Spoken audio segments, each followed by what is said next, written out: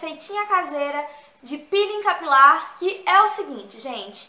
Esse peeling, ele consiste basicamente em uma esfoliação do nosso couro cabeludo para que as células mortas saiam, porque quando a gente esfolia tanto a pele quanto o couro cabeludo, as células mortas que estão grudadas, elas saem e aí o cabelo fica mais limpinho, né? Fica respirando, digamos mais assim, o couro cabeludo respira mais e circula sangue, o sangue circula muito melhor.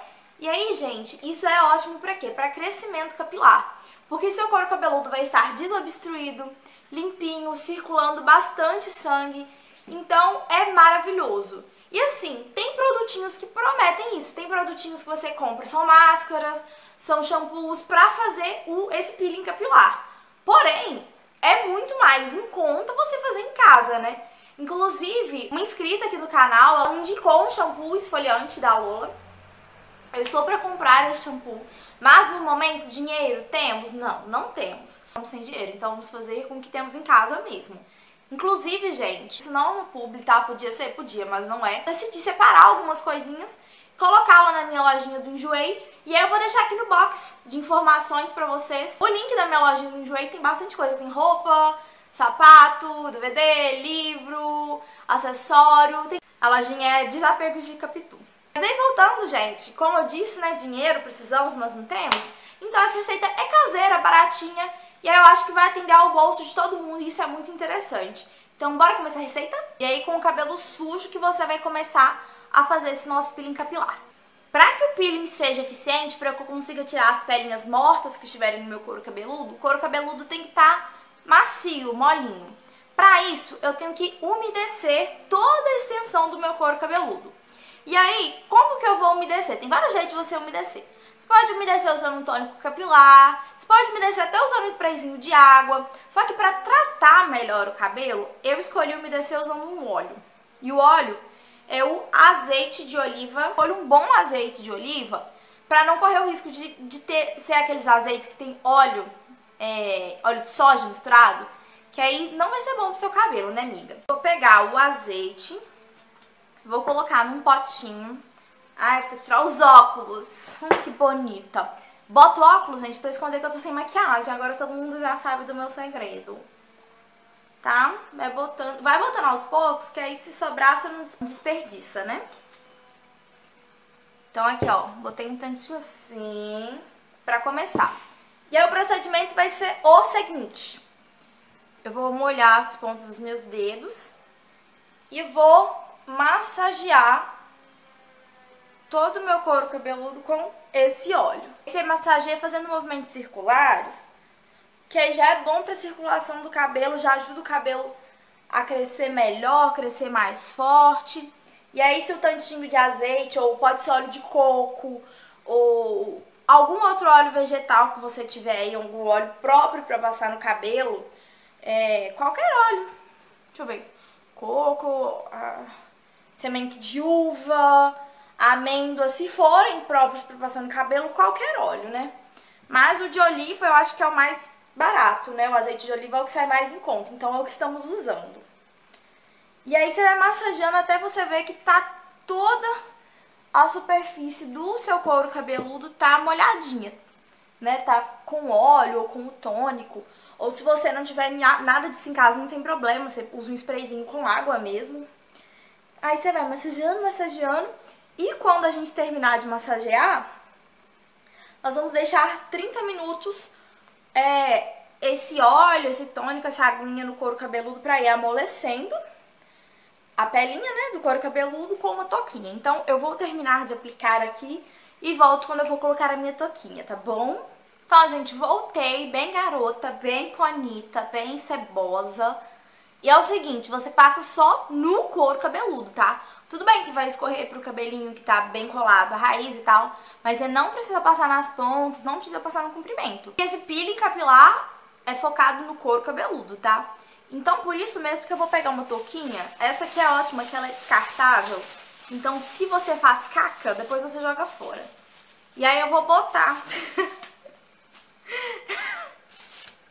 eu vou botar essa touquinha só aqui no couro cabeludo pra dar uma abafada. Vou deixar com a touquinha assim por 30 minutos pra amolecer as pelinhas do meu couro cabeludo e eu já volto, tá bom, gente? Ah, gente, fiquei os 30 minutinhos com o azeite de oliva abafadinho aqui com a touca. Agora eu vou tirar a touca e vou preparar a misturinha do peeling, né? A misturinha esfoliante, que é o seguinte. Uma quantidade razoável de açúcar cristal, que é esse bem granulosinho, sabe? O não, não serve o mascavo nem o de confeiteiro, porque ele tem que ter esses granulozinhos para esfoliar. Isso aqui tem mais ou menos duas colheres de sopa cheias, tá? Que é o que eu achei que é o suficiente para toda a extensão do meu couro cabeludo. E eu tenho um cabeção. Então aqui tá o açúcar, tá vendo? E eu vou misturar com esse açúcar um shampoo. Qualquer shampoo, shampoo da sua preferência. Eu tô usando esse daqui porque é o shampoo de monovinhar com gelatina que eu vou deixar aqui nos cards de informações que eu já ensinei pra vocês como que eu faço. Então eu vou colocar aqui o shampoo, esse shampoo é bem grossinho, esse shampoo é bem grossinho por causa da gelatina, tá vendo, ó? Vou colocando. Você vai gastar mais shampoo do que você normalmente gastaria lavando seu cabelo, tá? Eu acho que eu pus açúcar até demais, mas não tem problema não. Eu acho que não vai sobrar tanto assim. Então eu já pus a quantidade exata. Vai ficar assim, tá vendo? Uma pasta. Pasta. Uma pasta bem consistente. Vou pegar essa pastinha aqui e vou massagear por todo o meu couro cabeludo. Então eu vou pegar aqui, ó, na minha mão. Vou passar a pastinha no couro cabeludo, esfoliando, tá? É provável que você faça uma sujeirinha. Um cheiro bom. Que deixe cair uns uns açuquinhos no chão. Então, assim, se prepare, faça isso antes de limpar seu chão. Aí você vai aplicando. E essa receita aqui, gente, essa etapa da receita, a gente não vai deixar agir, tá? A gente vai ser só o tempo que a gente aplica, enquanto a gente faz a massagem, tá? A gente vai aplicando, fazendo massagem com movimentos circulares. E logo em seguida a gente já vai enxaguar, porque isso aqui é shampoo. Shampoo a gente não deixa agir no cabelo, né? Então, eu vou passar isso aqui porque eu estou com muitas dificuldades para falar e passar com essa lambrequeira na minha mão. E quando eu tiver passado em todo o couro cabeludo, eu volto aqui pra mostrar pra vocês, tá bom? Então, gente, voltei bem maravilhosa assim, terminei de aplicar. Fiquei massageando, espalhando em torno de 10 minutinhos. E aí, dica... Eu comecei espalhando a mistura do jeitinho que ela tava, só que eu senti um pouquinho de dificuldade pra massagear e conseguir até uma espuminha. Então, o que, eu fiz? Eu misturei uma colherzinha de sopa de água na minha mistura, é, mexi tudo e aí eu fui aplicando e foi muito mais fácil de distribuir pela extensão do couro cabeludo. Então minha dica, você coloca mais ou menos duas colheres de sopa de açúcar, dá em torno de uma colher de sopa de shampoo e uma colher de sopa de água, mistura, aplica por toda a extensão do cabelo massageando. Após isso, gente, é só vocês enxaguarem o cabelo, é, se for o caso, hidratar, condicionar, até a mão da gente, gente, fica bem macia, porque esfolia a nossa mão. Então, assim, é um tratamento dois em um. Depois disso, é só você enxaguar essa misturinha do seu cabelo, né? E você vai dando uma, uma massageada pra espuma limpar o resto dos fios. E condicionar, hidratar, hidratar, condicionar, enfim, o que você geralmente faz depois de aplicar o seu shampoo. E é isso, vocês já vão sentir que o, o cabelo a, vai estar tá mais soltinho da raiz, vai estar tá com menos se você tiver caspa, eu acho que às vezes deve tirar um pouquinho. Vai estar tá com menos oleosidade. Então esse peeling capilar é maravilhoso. Eu vou encerrar assim, porque depois disso é literalmente enxaguar e condicionar o cabelo. Então não tem mais o que eu possa mostrar pra vocês. Então a gente termina bonita assim, né? Porque aqui somos íntimos, né? Então a gente termina bonito assim mesmo. E é isso, gente. Dê um like nesse vídeo se vocês gostaram, isso me ajuda muito que a YouTube vê que vocês gostaram do meu conteúdo e avisa sempre que eu postar novos vídeos.